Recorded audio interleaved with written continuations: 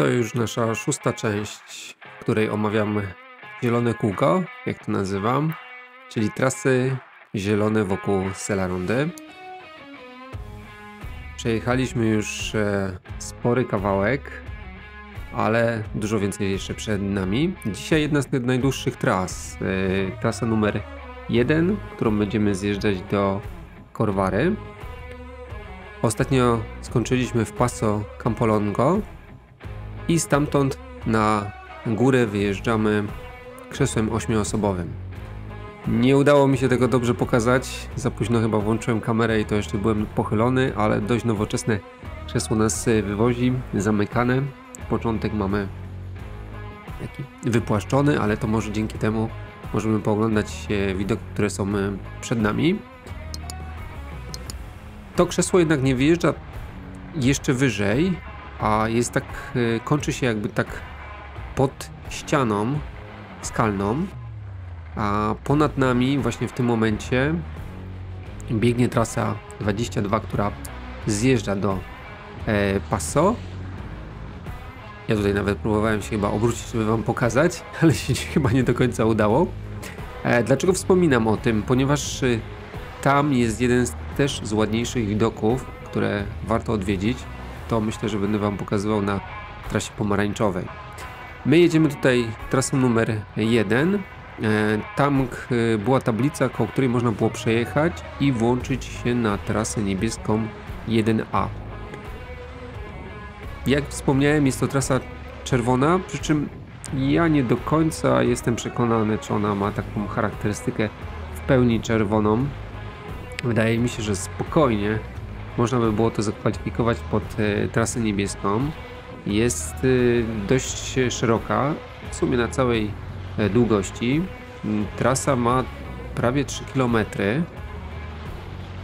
I w sumie prócz może tego jednego miejsca, którym teraz widzicie, raczej nie jest jakoś specjalnie mocno nachylona, a średnie nachylenie na całej długości wychodzi około 20.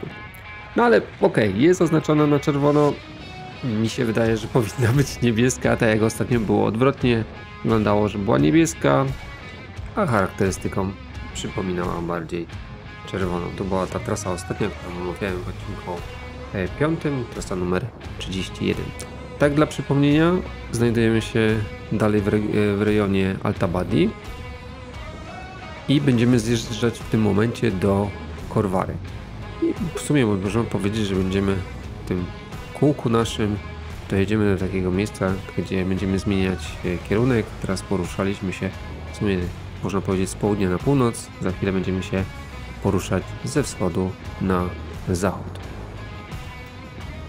No jak tutaj widzicie trasa jest szeroka, dość miła, jeżeli chodzi o zjazd, nie tylko dla osób, które lubią prędkość, no bo przy takim nachyleniu łatwiej jest panować nad nartami, ale także dla osób, które uczą się.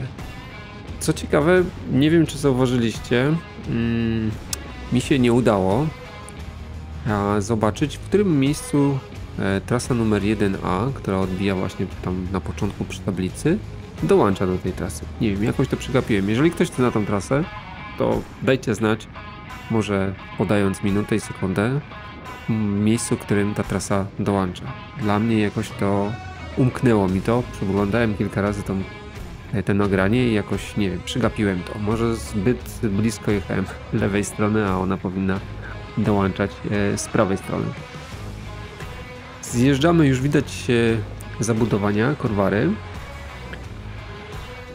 Tutaj będziemy się przesiadać na gondolę i w następnym odcinku przygotujcie się na sporą ilość siedzenia. Siedzenia w gondoli i siedzenia na krzesłach. Może więcej nie będę zdradzał, zobaczycie w następnym odcinku. Widać już gondolę e, żółtą, nawet ją prawie pokazuję. A to jest ten budynek po prawej stronie. My tutaj się kierujemy do w kierunku gondoli pomarańczowej.